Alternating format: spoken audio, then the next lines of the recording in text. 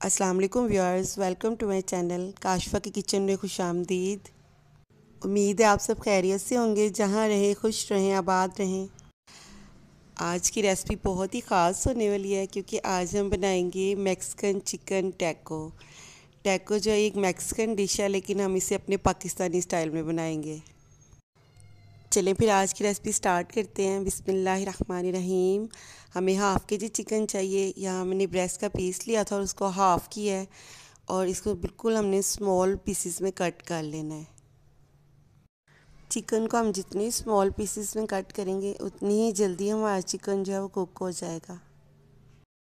यहाँ हम पानी में नमक शामिल करेंगे आलू बॉयल करने के लिए। यहाँ मैंने 250 ग्राम्स आलू लिए हैं तो नमक से है कि जो आलू के छिलके वो बहुत आसानी से उतर जाते हैं।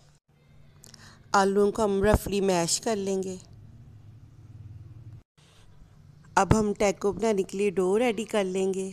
तो डो बनाने के लिए यहाँ मैंने एक बॉल में दो कप मैदा लिया है, और मैदे में शामिल किया है वन फोर टी नमक, और दो चम्मच कुकिंग ऑयल और इसके बाद हम हंसपे ज़रूरत पानी मिलाकर तो हम एक सॉफ्ट सी डो रेडी कर लेंगे। डो को हमने अच्छी तरह से गूंद लेना है जब तक कि वो बिल्कुल सॉफ्ट ना हो जाए और फिर दो घंटे के लिए रूम टेम्परेचर पर हमने कवर अप करके रख देना है। जब तक हमारी डो राइज होती है, तब तक हम टैको की फिलिंग रेडी कर लेंगे। यहाँ मैंने एक प्याज लिया था, उससे मीडियम साइज़ में कट कर लिया है और एक पैन में ऑयल लिया है। उससे मीडियम टू लो फ्लेम पर हम फ्राई करेंगे। जब हमारा प्याज थोड़ा सा सॉफ्ट हो जाए तो हम इसमें एक चम्मच अदरक और लहसुन का पेस्ट शामिल करेंगे और लाइट ब्राउन सा फ्राई करेंगे।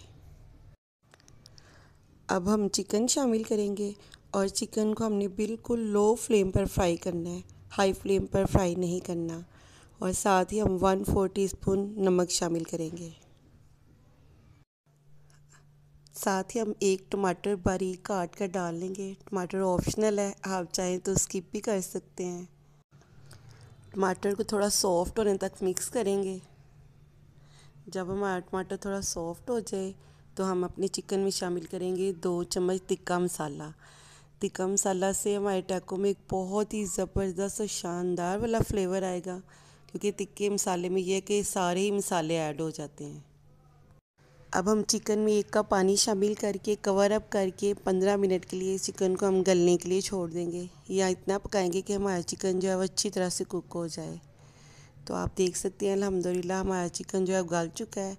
अब जो हमने आलू बॉयल किए थे, हम वो भी चिकन में ऐड कर देंगे।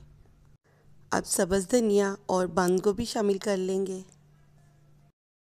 जितनी देर में हमने फिलिंग रेडी की है, आप देख सकते हैं, उतनी देर में अलहमदिल्ला हमारी डो कितने अच्छे से राइज़ हो चुकी है। अब हम इसके छोटे छोटे से पेड़े रेडी कर लेंगे। इक्वली बनाने हैं हमने और इस तरह से सारे रेडी कर लेने हैं। अब टैको के लिए हम रोटी बेल लेंगे और रोटी को हमने ना बहुत ज़्यादा मोटा बेलना है, ना बहुत ज़्यादा पतला हमने इक्वली रोटी को बेल लेना है। यहाँ तवे को हमने हीट अप कर लेना है और हमने लो फ्लेम पर हमने अपनी रोटियाँ जो है उनको पका लेना है। हमने जो रोटियाँ हैं उनको हाफ़ कुक करना है फुली कुक नहीं करना। क्योंकि हाफ़ जो है हम फिलिंग ऐड करने के बाद हम हाफ़ कुक करेंगे। तो इसी तरह से हम सारी रोटियाँ रेडी कर लेंगे। अब हम अपने टैको की फिलिंग स्टार्ट करेंगे। तो यहाँ एक रोटी पर मैंने चिली गार्लिक सॉस लगाई है और उसके बाद हमने जो चिकन और पोटैटोज़ की फिलिंग रेडी की थी, वो अच्छी तरह से उसकी लेयर लगा दी है। अब हम इस पर ऐड करेंगे मोजरेला चीज़ तो मैंने मोजरेला चीज़ यूज़ की है। आप जो भी लाइक करते हैं, वो यूज़ कर सकते हैं। और चीज़ से मैंने अच्छी तरह से टैको को फिल कर दिया है। चीज़ से हमारे टैको में एक शानदार सा फ्लेवर आएगा और आप देख सकते हैं, इस तरह से आपने रोटी को फोल्ड कर लेना है। और इसी तरह से आपने सारे टैकोज रेडी कर लेने हैं। एक तवे को हीट अप करेंगे और उस पर मक्खन लगाएँगे। मक्खन को हमने अच्छी तरह से फैला लेना है और फिर वन बाय वन हमने अपने टैको को फ्राई करना है। हाफ़ फ्राई हमने पहले कर लिया था और अब हमने बिल्कुल लो फ्लेम पर हमने अच्छी तरह से अपने टैकोस को कुक कर लेना है। हम साइड चेंज करेंगे और दूसरी साइड पर भी अच्छी तरह से मक्खन लगा लेंगे। आप देख सकते हैं, अल्हम्दुलिल्लाह, कितना प्यारा डार्क ब्राउन कलर आया है और हमारे टैकोस कितने खूबसूरत लग रहे हैं।